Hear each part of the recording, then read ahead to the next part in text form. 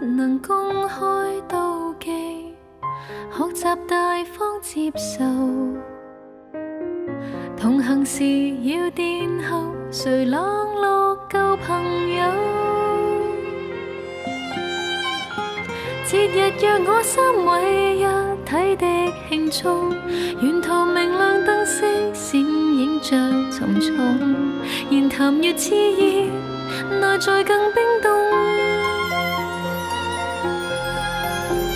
谁当初无心将两方撮合，然后留低只得这寂寞人。仍是你们密友，呆望你们热吻，应该伤感还是快感？能回避吗？我怕了，当那电灯胆，编着你们来来回委曲中受难。一个我被撇低，却又。